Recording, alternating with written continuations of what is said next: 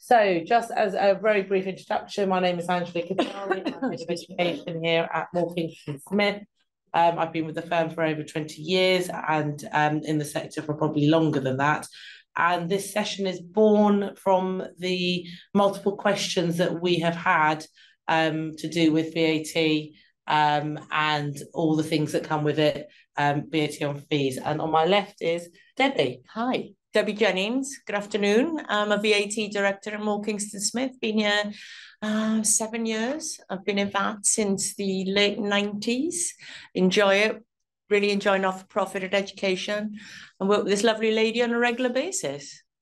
Fantastic. Um, can I a bit of housekeeping? Um, as you all know, many of you have used the Q and A. We will try and pick up questions as we go along. Um, if we don't get to you, don't worry. Debbie and I later on will take some of the questions that we've got if we haven't managed to answer them, and we will recirculate a Q&A, uh, sort of the frequently asked questions um, ultimately. So um, not to worry if, if we don't answer everything that you want answered. So the first thing I just wanted to cover off was really, um, we are taking this seminar as a given that fees in advance, yeah. it's all good, thank you, thank you. that fees in advance sorry, fees in advance, I'm going ahead of myself. fees, um, so VAT on fees will go ahead. We're going to take the, a very big assumption that the Labour government will come in and that they will put VAT on fees. So one of the things I just want to quickly explore is when do we think that is? And with the view that we think there probably will be an election, just say probably the latest at the end of 24, um, the first opportunity that this could affect our schools will be in the year 25, 26. So I just wanted to gauge your opinion, Debbie, um, whether that is a feasible timeline for something like this to come in. Yeah, Thank you. We've known since 2017 that the Labour Party has said that they're going to introduce VAT on education, been very vocal about it. We haven't seen any specific details, um, but it's highly likely it's going to be in the manifesto. And maybe when the election's announced, the manifesto will go into more details. So let's think it through. So there's an election next November, and then the Labour Party win with a majority. So are the, the government, no coalition. And then they have a budget in March and then we'll see the detail of what the proposed changes will look like. And then we would expect a transitional period um, for the full rollout. So beginning of September of that year, 25, and with the full school year to follow. So that's the ballpark I would have thought you can realistically assume. So another question that we get asked multiple mm -hmm. times, if that is going to happen, how feasible is it for Labour to put VAT on our independent school fees? You know, how quickly can they do it? You know, education, for example, is wider than the independent schools. It is our higher education, it is our universities, mm. it is our small disabled school down the road that is financed um, via state and yeah. private monies. How easy is it for Labour to do this? Yeah. So what you've got, you've got state schools and free schools and academies where you don't pay for education. They have a special VAT regime and they can recover all their VAT because essentially it's a non-business activity. But looking at VAT, it's it is a European tax. We've had VAT when we went into the common market, as it was, and that was the ultimate piece of law. The, the VAT rules under the EU were the supreme law, and we have it in our own UK law. Uh, so that's where it sits. It's the supply of education and goods and services closely re related to education by an eligible body.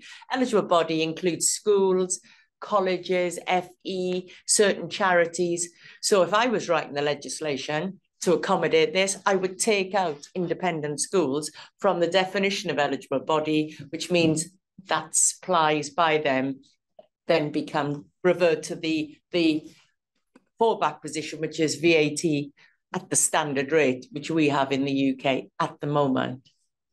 And is that easy for them to do? With the view that you know when I mentioned things like the you know the small disabled school down the road that is funded by both state and private sector, would that fall into independent or state? Well, if you pay in fees, because even an independent school with bursaries, if you pay in fees and if you want to attack, well, it's an aggressive word, but if you want to focus on that particular activity, then you rewrite the VAT rules in the legislation to capture that. So it's almost like uh, uh, the okey cokey, your colleges stay in the exemption, your independents go out. Uh, it's really how you rewrite the rules. Okay. And you mentioned uh, earlier on about uh, transitional rules. Mm-hmm. What does that look like if we've gone through the timeline of an election in 24, impact on our schools 25, 26? Does that include the transitional rules? And what are transitional rules? Yeah. The, so the... if I was sitting in the um in the seat of the independent school at the moment, I only know the headline stuff. I'm looking at something like this, which is people who've who've got given it their best shot of, of guessing, if you like. But then you, what I would expect to see is that the manifesto fleshes it out. So that's the next bit of a giveaway of information by the Labour Party. They win the election for our assumption here, and then you get the budget that's when you start getting the meat. Then you start looking at, well, what's this going to look like? And that will then indicate when the rules are going to change. So I think you, the transitional period will effectively be, I would say, is the March budget in 25 to the implementation in September, which is six months, which is about, you know, sort of reasonable for a transitional period. Because there's going to have to be a lot of things that's going to change a lot of accounting system change, pricing, communication, you know, blah, blah, blah. And so, with that in mind, we know that our bodies within the sector, from the ISC, you know, they're going to want to challenge this. We mm. already know that they are, you know, fighting a battle with with with Labour on this. Will that have an impact on any adoption um, trigger points as like such. an appeal you're talking yeah, about yeah. absolutely. But when you when you appeal something at the moment if you appeal something about vat then the appeal the courts and the tribunal is appealing law that's on the statute books. But what we'd be looking at here is that the it beca- to become a law it's going to have to be debated in the house and passed through the lords that's where you can try and bring it down, I guess, and, and influence the potential impact. It's it's in that debated stage while it's still uh, it's still a work in progress. Okay, so I think if we take the view that it is coming in, um, we've got a good idea that possibly 25, 26 will be the impact year for our schools. What can we do about it? And I think one of the key things that has been discussed in numerous ways, in numerous fashions, is this fees in advance yeah. element um, and what that means. Already, we know that schools receive money in advance. Is there an opportunity to utilise what they already do? And I say very loosely, I don't want to use the word avoid, but as quite rightly you say, mitigate any future VAT implications. Okay. Over to you. So what we're looking at is how do we effectively do a prepayment, let's call it that, to take advantage or to live with the rules as they are now, the exemption. It's it's very common for these sort of things to be done. But if we look at the composition fee scheme that schools have, that's essentially a lump sum, a prepayment, but at the essentially a top down so I pay for a relative, but it's a lump sum, and then the school slices and dices attributable to the education. For this, for a prepayment to have legs and be strong and to, to stand up to scrutiny, it's got to be a bottom up. It's got to be, I am prepaying this amount of money specifically for these terms for this child, quantifiable on these terms. So it's it'll ramp up to a lump sum because that'll be the total. But you can't just say, there's some money, there's a lump sum, there's my prepayment, but it's just a lump sum. It's it's too undefined. It must be specific. There must be a link with something, a future supply. You are prepaying for that, not I will give you the money, and then you can slice it and dice it as life goes on. So just to explore that a bit, just so that our schools understand, if the fees in 23, 24, sorry, 24, 25 are £5,000 a term, if someone wanted to pay for a year one, they would be giving the school 15,000. In 25, 26, if the fees are now five and a half thousand, if they wanted to pay two years up front, they would be giving the school 31 and a half thousand pounds if they did give the school £31,500 because the school has some information to dictate that fees might be at the £5,500 right, yeah. and that came in in 25, 26, does that mean specifically the school that is now subject to VAT on its fees would not have to apply the VAT to that second year? Okay, so looking at that, so if I if I was paying now, I it's got to have some sort of commercial legs, not only for the purpose of avoiding using that uh, mitigating VAT. And you would normally expect there to be some sort of incentivization. If you pay up now, you will get a 5% discount. There's got to be something that gets it over the line for more than just VAT, for VAT mitigation. So what you would need to do is if you say, yep, yeah, there's the meaningful basis, how this is costed out per child, per it, it's tied in to what you would normally see and it's got a commercial edge and you can see why. I think you could be fine. It's it's as much robust planning detail implementation and and it stands up to scrutiny. So this is why schools have been um, or certainly some schools have been thinking about encouraging parents, and certainly I know some schools are already fielding calls from parents about paying fees in advance. But what they can't do is rely on these old composite fee scheme yeah. agreements that they have in place, which, as you said, there is a difference between bottom up and top down. Mm-hmm. And that's probably quite crucial for this mm. fees in advance scheme to almost work for VAT purposes. Yeah, because the, the lump sum top down does not work. The bottom top going up to a total is much more uh, uh, ability to be taken as an acceptable VAT planning tool. So the school will only estimate their fees. Uh, but there must be a basis on which the estimate estimates are made. There's got to be a meaningful uh, process and quantification. And as I say, you do have to have also the basis for incentivizing somebody to make a payment in advance. If it's only for the mitigation of VAT and that only, then that's too artificial. So I know for a fact that my schools can at least plan forward a minimum five years. Some are really good and plan forward for 10 years, but after five, the inflationary increase applied to fees is a little bit sort of, you know, finger in the air at least for five years, they will take into account certain things that are going on in the school. If they've got asset type expenditure going on, they know what sort of cash they want to raise, they can project forward, certainly also with their pupil numbers. If you think about it, you know, coming in at 11 for a senior school, they know they've pretty much got the child till they're 18 if they're that mm. sort of uh, age group, if they go up to that. So there is a predictive nature. But it's got to be per child as well. It's got to, it's got to be this money is being paid for this child's education. This child is in year whatever now and is likely as things, everything going as planned to be there till then. It's about the child. You're paying for that child. It must be specific. So you've got to bring it in because it's a prepayment for that future supply. So what what year is that child in? What are the fees and, and what are the basis for those fees going forward? And really, you've got to sort of be able to justify by saying, and that up till now has been the basis and why we've charged what we do. You know, because a child has got a certain lifespan at a particular school. Yeah, and not all the kids are going to be at the beginning. They're all going to be at different points in their education.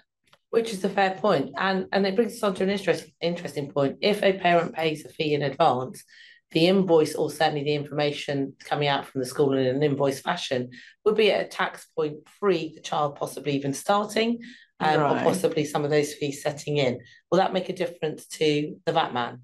I think it will. It depends how much in advance. You know, if it's a child who's six months old, who's who's got a, a fair few years before they're going to go to a school, would that normally happen? If I was the officer looking at this or the policy people, you know, is that reasonable? I'm sure for some highfalutin schools, names get put down when a when maybe the child hasn't even been born. But yeah, these these things are sort of a bit movie-ish, aren't they? But it has to be reasonable. And would it happen now? Or are you only introducing this to mitigate and uh, let's use the avoid word in this situation, the VAT charge? So the interesting thing about this is that this is not anything new in other sectors. Mm-hmm. We know if I take something very simple like a British Telecom bill, they have always, uh, for a certain period in time, asked for people to pay their uh, line rentals for 12 months, even if the line rental cost went up in the future, you've tied it in for 12 months. Yeah and you're not being asked to pay any more money. So, in principle, these sorts of things do exist in other industries. Yeah, of course, yeah, prepayment. I mean, it's quite interesting you mentioned British Telecom because I was looking through uh, the, the HMRC guidance, internal guidance about what and what doesn't create a tax point in consideration. And then still the leading case from about the mid to the late 1990s is a British Telecom case, which was people overpaying their bill or paying too much um, or some people deliberately paying this bill and then knowing what the quantum was going to look like going forward and paying the next couple of months or a couple of quarters in advance. And that determined whether there was a VAT liability for British Telecom or not. So if there's a consensual element with a meaningful background why somebody is making payment and they have a they have a sort of structure of what that payment is, then that would be subject to VAT. If it's somebody who's just a bit um, forgetful and double pays their, their telephone bill and didn't realise, or somebody else who thought, oh, I'm self-employed, I'm a bit flush this month, I'll give them a lump sum because I don't know when I'm going to get any more money. In the second two instances, it's too abstract. It's not specific enough to a future supply. You've got to have that link and it has to have a meaningful connection. So just to recap on fees in advance, just so that we're all quite clear. Yes, in principle, if a parent pays you and a school can actually demonstrate, whether it be for five years forward, that these will potentially be what be the fees, then in theory, at the moment, without any other information coming out from Labour or HMRC, this could put schools in a position where they may not have to charge VAT on those fees should it come in in the future. Prepayment, if you really are thinking seriously about a prepayment scheme, then get moving now. Because the sooner you can show that you're doing it, and it's not just for VAT mitigation, then the more likely that you will get some or you know, or maybe all, depending on whatever comes out, of these advance payments exempt in line with the current rules. Okay, that deals with the VAT, and I'll deal with why I don't personally like it in a minute. But you mentioned quite early on about composite fee schemes. Mm-hmm. Now, that is a different part of HMRC. And how do both taxes tally? Because when we look at the composite fee scheme as a very traditional model, a parent pays, again, a lump sum that lump sum is defined into different year groups, so different children, different years that it would cover. If I use the example of £5,000 a year, mm-hmm. what the school will do is apply a discount rate and say, for the fee that it is today, which is £5,000, I will give you a 1% discount on your £5,000. Mm-hmm. Year two comes along and the fees are now 5200 or £5,500 right. a day. The 1% discount is still applied to the 5000 and the parent has to pay the difference in fees. Okay, if I'm, I'm the HMRC officer, I just heard you say that. Here's my considered response. I don't care. I live in the world of VAT. I'm only interested in the VAT rules. Unless I'm told something specifically where there's a crossover, I deal with this tax. I hear what you're saying, but my response is, I don't care. This is what I want. So we are at the realms that none of us have quite yet explored, and certainly HMRC has not yet been put in a position to challenge. Should we be okay and tick the box on the VAT side, we might be getting ourselves into trouble on a benefit in kind issue. Yeah, it's called on... self-assessment. You have to run. You have to be the tax man, don't you? You collect and you file and you sign the declaration. You are the tax. You do the self-assessment. It's a case of there you go. There's the responsibility. The guidance is out there. What we don't do as a tax authority, again, role playing on the tax man, is come into your world and sort it out for you. Self assessment. So the risks for me when I talk to you about this, Debbie, and I've certainly talk to my schools about it, is that one, parents that will give you fees in advance certainly have uh, the ability to ignore the point at the time the school tells them that this is not a foolproof um, system until more information is available. And therefore, when VAT comes on fees, for example, in this scenario, we'll conveniently forget that the school said it wasn't a foolproof system. You're going to have to write it down as well. Then, if you're writing a prepayment scheme for VAT and you're going to start doing it now, you must caveat it saying that in the event that legislation or change or, or, or something comes in that cuts through all of this, we have the right to charge you VAT in addition to the fee. Because if it's silent, if, if an amount of money payment is silent on VAT, and that's payment for a taxable supply, HMRC say you will find the VAT amount due to us out of whatever that amount is, not our problem. Yeah. You must make it exclusive of that. So you must have that caveat in whatever planning or efficiencies you're looking to introduce. Um, the other reason why I think it's a little bit precarious is, as you say, because the legislation's not here yet. And yeah. we also know that on the other side of the tax world, um, HMRC are already looking at where fees are financed from and parents that have absolutely gone into trust and paying fees out of trust, all of it is being challenged at the moment by HMRC. I suddenly feel a little bit that HMRC will come looking for this. And we've talked about anti-forestalling measures. Mm-hmm. What does that mean for the, the people listening today? Okay, I mean, just as an example, in 2012, uh, the VAT rules, the law was changed so that the approved alterations to a listed building went from zero rated to standard rated. And obviously, there was an element of, oh, quick, if we prepay for what we know we're going to be doing to our listed building. We can get them at the zero rate. The changes came in, but when they were announced, there was also an announcement that legislation would be brought in so that any prepayment in that scenario, any payment in advance of the date of the full change would also be taxed at the standard rate. So if anti-forestalling, which is essentially we're going to attack your planning, if that comes in, then even a prepayment could still fail the exemption and be then subject to the new VAT rate. But of course, now we're out of Europe, it doesn't have to be 20%.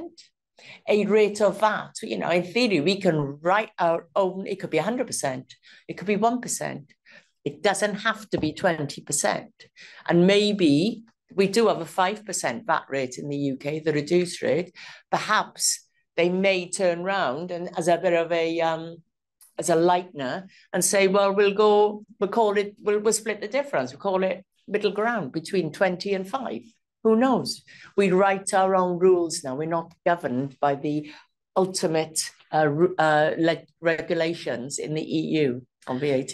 And um, is there a possibility, and I, this has been explored, that actually, depending on what your annual fees are, you could have tiered rates on the VAT effectively. So a £30,000 a year school could be taxed at 20%, but a £15,000 a year school could be taxed at 10%. Yeah, of course. And of course, it could be. So you could have different rates, different tiers. We've got tiers in income tax. We could have tiers in VAT. But on the VAT recovery side, because of course, if you are charging VAT at whatever rate on your income, it allows you to recover VAT on your costs but it doesn't have to be matched. So what I mean there is say the rate of VAT was introduced at say 10%, you could still recover the full 20% rate of VAT charged to you on your costs. So it doesn't have to be a matching in like for like on those rates.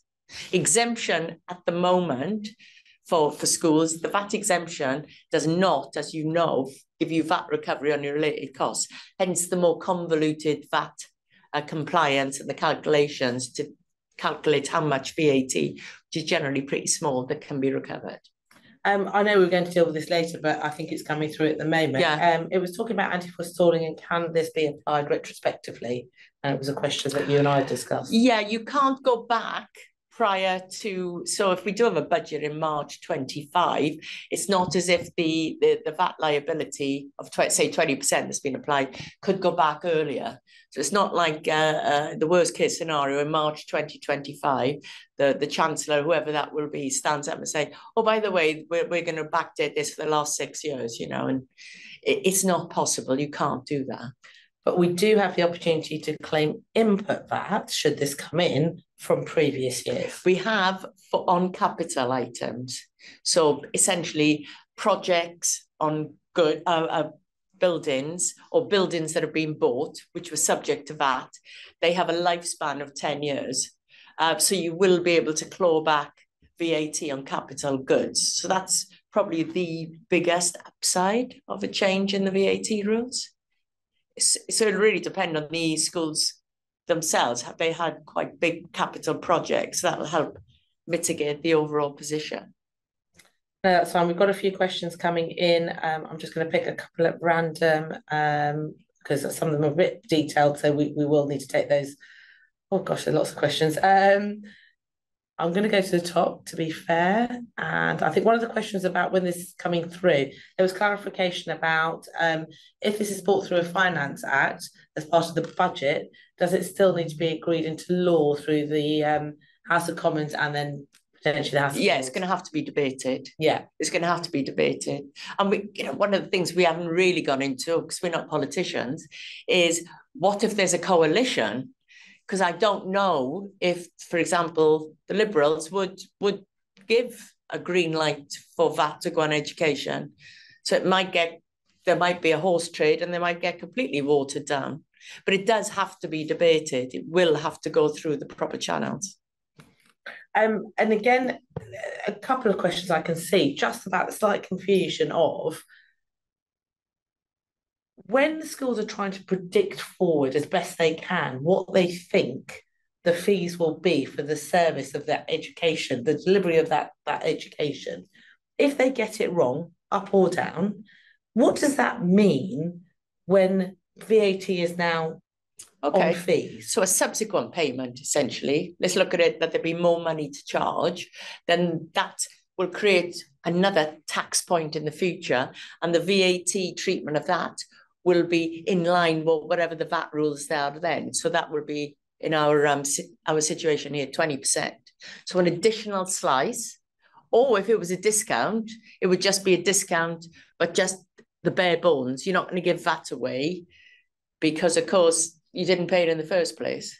That's right. So just to explore that, just so that we all have a full understanding of that, Debbie, is if a parent gave you fifty thousand pounds and it was estimated, let's keep it very simple, that that would cover two years worth of fees of which VAT was now on those. Mm-hmm. If actually with hindsight, because things have gone up a bit faster than ever, actually only covered a year and a half, the parent would have to then supplement that last term by extra money. There's now VAT on fees. They will be subject to VAT on that last that term. additional tranche yeah. of the payment. Yeah, yeah, absolutely. But we haven't. The other thing we haven't gone into is the uh, the other elements apart from academia I mean, there's there's ideas which we see around that, which you and I have discussed. Absolutely. So I think fees in advance obviously was one, and I think we've probably mm. and we've got more questions, but we will take that online. I'm conscious of time. But one of the other things that obviously came about quite early on was this definition of education. Mm. What does it really mean? And if you take the key things that a child gets when they're at school, it is the academics, there's music, there's sports, there's catering, and there's boarding. Mm. So if you just take those as big examples of what a child can access, depending on the type of school it is, mm-hmm. um, what does education actually cover? Well, at the moment, what you would look at is what is exempt. I mean, that's been a, a so you got the education, school meals, or the, for the kids, boarding, because those are uh, school trips, those are goods and services closely related to the education itself. So the education is the mothership of the exemption. And these are the things that is pulling in because they're so closely related. But we talked about, well, can they be unbundled and potentially a bit of distance created between the school and other elements. So say, let's take that. Catering, for example, if you take catering out of the uh, education pot, it's always going to be standard rated. There's no other exemption knocking around for catering. So that's that's a done deal there. What about boarding? Well, boarding, I've seen, and we've looked at this ourselves, hasn't it? Certainly, if it's a an element of the education and boarding, I would imagine the boarding is a fairly chunky proportion of the fee. Yeah. If you had a boarding subsidiary, so a subsidiary company from the school, so creating the distance, and you could contract for both. There's the academic element, there's the boarding. Can that be exempt as a supply of a right over land? Okay, I've seen that uh, mooted. Well, for that to be exempt, it has to be a defined area for you and it has to be exclusive for you. Now, I don't think in practical terms there'll be enough of those two tests being met for it to be exempt. Because in a boarding, in, the school's boarding, will that child have that specific area that's exclusive to them? Hard one to, to get over the line. I can't see HMRC wearing that. But um, the London YMCA was looking at this area a couple of years ago and won their case in the first tier tribunal because they said, okay, what we are providing, we think is standard rated under supply of hotel accommodation, boarding or similar, including sleeping accommodation. Oh, so what? That's standard rated. This is what we're trying to mitigate in this, this event now. But the big, the big planning and the big tick for them and, and potentially for us is that there's a valuation provision, which means after 28 days, so day 29 onwards, if you've been in continuous occupation of, of that accommodation, that sleeping accommodation, from day 29, the effective rate of VAT drops to 4% from 20 and you still get full VAT recovery. So as we were talking about earlier, if you won the Euro Millions and decided to leg it from your house and move into Claridge's while you considered what you're going to do, if you're going to be there for three months, after day 28, Claridge's from day 29 onwards would only charge you 4% VAT or only account for an effective rate of 4% VAT on the the room, the bathroom, etc., not on any catering, but it's seen to be your effective residence. You see, that's what the um, that's what the uh, uh, uh, the measure is looking to to reflect.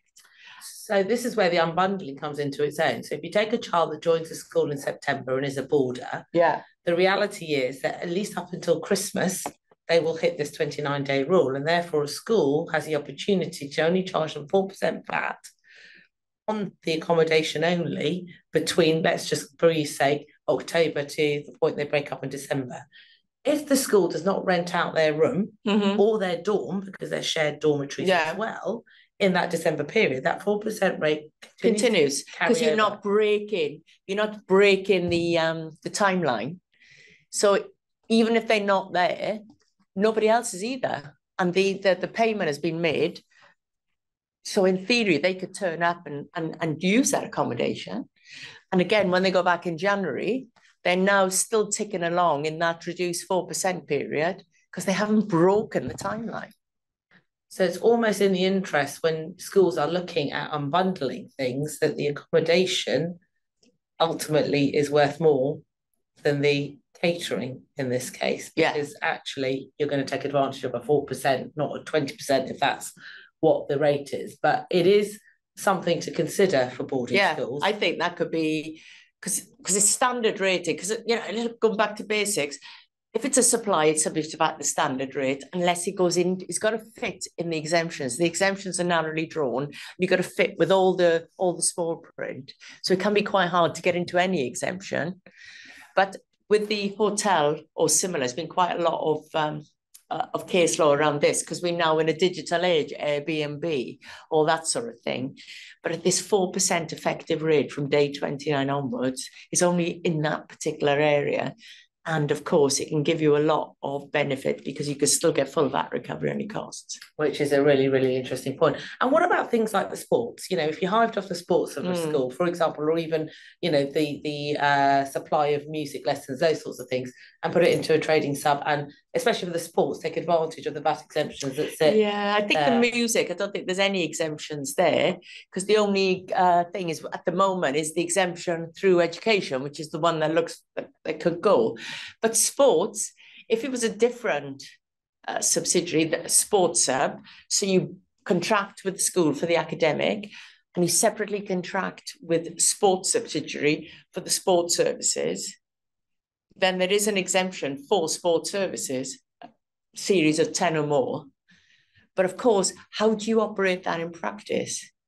What if a kid doesn't want to do sports and sees this as a nice opportunity for not doing it and looking at your, your phone instead?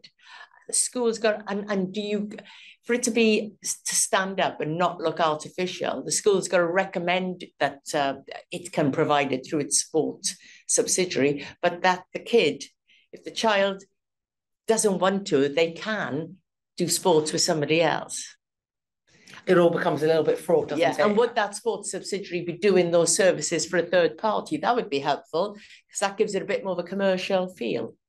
And would any of this, I mean, you know, if you sit back for a minute, and these are all sort of ideas, you know, without any information coming out from Labour at the moment, but I mean, would HMRC just look at this and just go, you're avoiding VAT? Well, yeah, almost certainly. But the fact is, they, they say that a lot about current rules that are in place, hence going to the courts but we live in a democracy. You can challenge.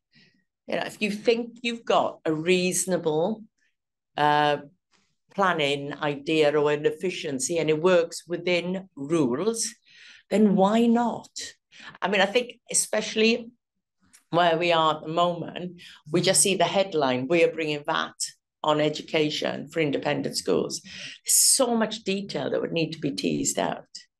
So, so if you're going to do planning, if you're going to do efficiency efficiencies, at least have a look at them now at a strategic level, give them a kick around and see would the steps required in order to drill in and get them into place, in theory, could you make it work? And I think that's what I'd be looking at, not jumping straight into the full planning idea, but almost right, what is realistic here?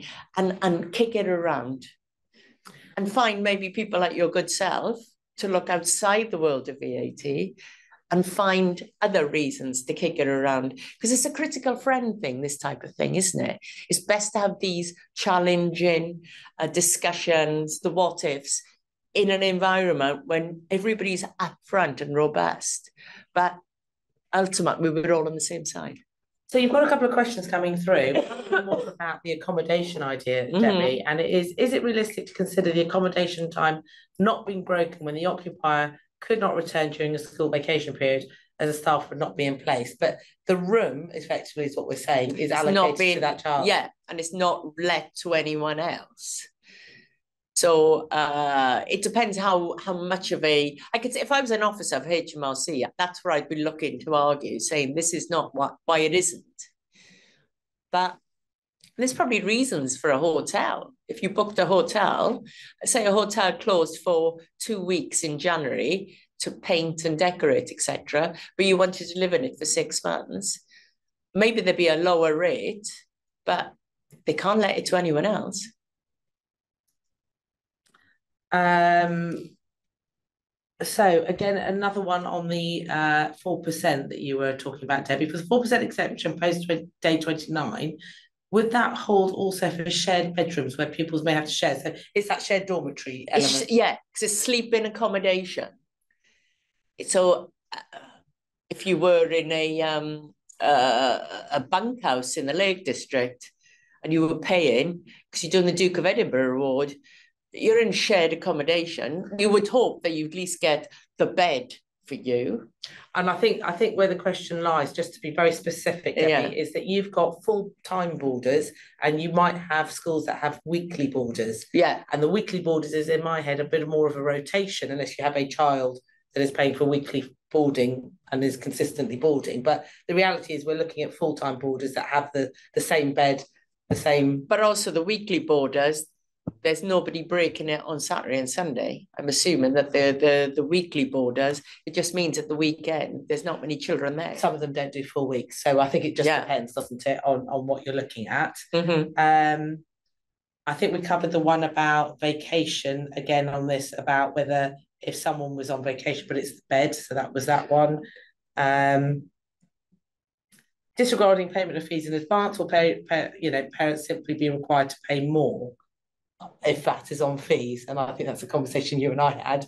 What in terms of the um where the cost? Yeah, who yeah. So it's it's a case of isn't it? It's HMRC will want if it's if a supplier is subject to VAT, the supplier accounts for it. Whether or not they pass it on, or they pass it on a bit, or they pass it on, you know, it's a price point. It's what's the price point? Because all there's been there's loads of cases in all areas which you've looked at. Because one some of the biggest tax areas are where it's sold to private individuals. So the high street selling biscuits, uh, kids' clothes. What's the price point? Where kids' clothes are adults' clothes. Subway, we saw that, didn't we? About loads of food because where people by B2C sales or private consumer is the customer, there's real tax.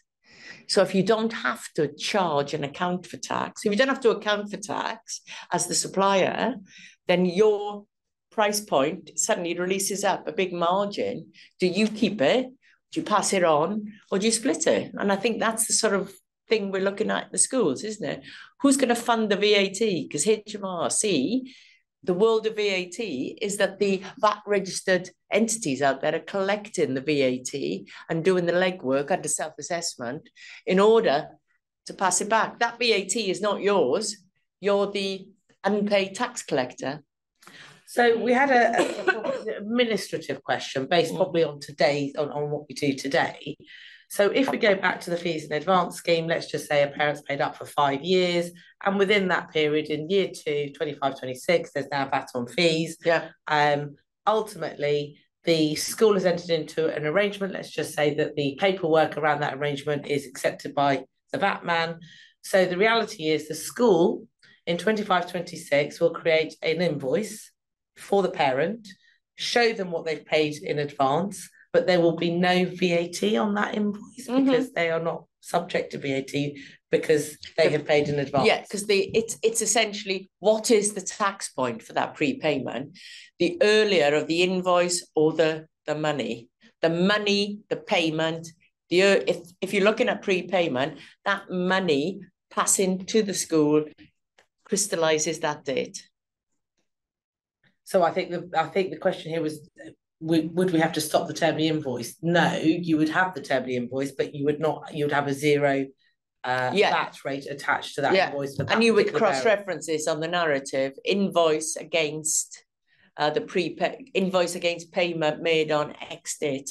Yeah, absolutely. Um, I mean, the one thing just to take an aside here, um, which most schools will recognise this comment, um, the parents that are in a position to give you fees in advance of that nature are probably the same parents that could afford the 20% VAT. Mm. What we're trying to do is save the parents that are sitting at the bottom rung of that, and they're not the ones that are going to be able to afford years of fees in advance, unfortunately. Um, so, whilst this scheme might work, um, absolutely. It's not helping the parents that you're trying to save, if I'm being honest, if you look mm. at it mm. from, from that point of view. Mm-hmm. But that's a whole other conversation, I think, mm-hmm. um, ultimately. We had a question on um, about bursaries, wasn't there? Yeah, there was, I'll try yeah. to find that one. Um, I mean, really, you're looking at if if if a, if there's different levels of fee fees depending on whether some of them are subsidised or part bursary or whatever you know, it's just it's just how you arrive at the the payment. It's it's if it's VAT, if VAT is now levied on education, it's just if there's a bursary that that brings down the payment, it doesn't change the fact it's the liability, not the not the quantum.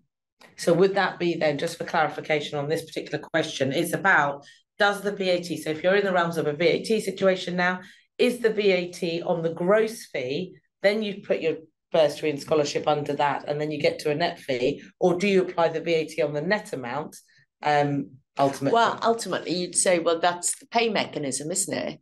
It's how the school, uh, how the school calculates the final figure that you're going to pay. So you would that's the price, that's the consideration. That's where the the the VAT treatment should sit. Which is on the net then. yeah, reality. it's yeah, because it's how you, you know, how you figured out how you arrive how you got the, to your yeah. Yeah. And of course, just to put it into context again, the schools that are operated by local authorities, the academies, etc., where free schools, where they are not charging for education, they they get full VAT recovery on their costs. So an academy gets full VAT recovery on its costs because there's a special VAT regime that gives them that back because it's it it's because they do it they're doing it and it's not doesn't have a business like or a commercial um rationale so they get the VAT back and, and my understanding is Labour is not looking at anything there so there's no because there's no extra VAT to give them Mm. but it doesn't look like there's any any measures to to bring them more into line what the independent schools will be doing. Yeah, yeah, they've, they've, they've always. Excuse me. We've got another question here, just because again, it just takes us on to a slightly different area. So I'm making sure we get a broad range of, of questions here. But one of the things that uh, has been muted as well is actually we've got to be a little bit careful because there is, if that comes in, there's the opportunity to claim input VAT. What happens if there's a tariff, Mm. i.e. just a tax, you know, on, on what it is? It's got. Is it do with Yeah. I mean, it could be uh, that it's it's well, it's it could be well instead of putting VAT on it, we're just going to put a, a a flat a flat levy. Which is the question here. If Yeah. they do a levy instead of VAT, would capital building VAT claim, No. still apply? No, because the levy is not VAT. So it's what give okay, the rhetorical question is what gives anybody the right to recover VAT? It's costs that can be seen to a link with something that's taxable, i.e., zero percent, five percent, or twenty percent, or if indeed they they come up with a new rate. A levy is not that, even though it's extra payment. That unless the rules say this levy will give you a right to recover. So new, again, just writing something new. Um, some concerns over what might be deemed as avoidance schemes. Um, again, a question about Mm. do we have to be very careful how we advertise fees to parents to avoid it being seen as an anti-avoidance scheme? Yeah, there's two things, isn't it? It needs to have substance. So if you only do something for VAT purposes and it has no other rationale or, or use, then that's too artificial. If you're only doing it and if you're advertising it as a VAT avoidance, then um, you know that's really not the best PR for anything. No, absolutely. Again, uh, as I think we've discussed, that many schools already operate fees in advance schemes. Um, are there any generic recommendations? I think the point that Debbie was saying is that you have to be very spot on about what your agreements say and how you propose. And how also, what about flipping it the other way? As the auditor, as the head of education, how are you going to look at these these planning measures when doing an audit? Because if you're not happy, how, where does that sit in the world of uh, of giving a um whatever bill of health you want to give to your uh, Well, client? World of risk. I'm coming to you, Debbie. Excuse me. Um, do you believe that if schools have to pay have to charge VAT, which changes their status, will they have to then pay business rates? Surely this will massively increase. Oh, because the the. Labour Party's also talked about withdrawing charitable status for schools, aren't they? And Yeah, I, I think this is a longer discussion. I, I am conscious of time. We did Yeah. start late. It is two o'clock, but I think charitable status absolutely is potentially up for grabs. I mean, they haven't absolutely said it. You know, why why worry about charitable status when they can just take away your VAT? You know, it, there, there's so many things they can do. Until we see a manifesto, until we see detail, Mm. honestly, I have no idea what Labour are are doing. Um, what happens if a parent pays fees for five years in advance and decides they want to take their child out of the school after three? Can they get a refund? Absolutely, that's just standard policies and, and conditions. The school cannot keep your money, um, depending obviously on how, how their fees have transpired over the time and what extras your child gets. Um, thoughts on that on day schools versus boarding school fees, please. Oh, we've covered that, sorry. Yeah. Um, uh, I think we've covered most of these questions. Um, and I think there are things, you know, I've got so many questions on top ups, um, you know, ultimately subject to VAT. And again, it's all about planning. If we get this in before anything's announced, um, you could find yourselves in a situation where um, it does combat the VAT part.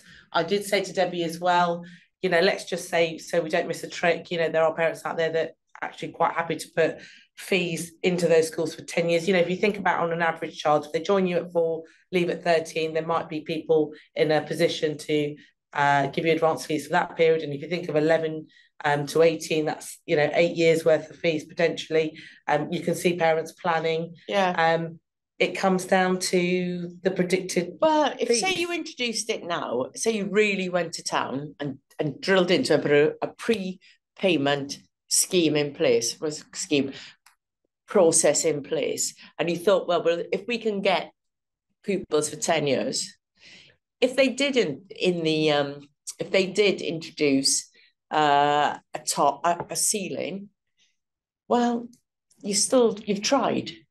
It doesn't mean it's not like oh, if you put ten years, we lose it all, and the ceiling will just the ceiling will come in. They get another theory. Say the ceiling is five. If they accept that it can be five years, well, that'll cut through your ten years. But if you don't ask, you don't get. We've got to put a meaningful basis behind any planning idea and, And I think that's the efficiency. detail the schools are missing, which I'm sure they'll start to ask about. One last one, really, really quickly. Yeah. Overseas students. Yeah, overseas students doesn't matter. The place of supply is here. For other areas of that, the place of supply is where the customer is based. But for education, it's where they are physically coming to receive their education. So if UK overseas students, level playing field. Thank you very much. Thank you for bearing with us. Very sorry about losing 10 minutes at the beginning.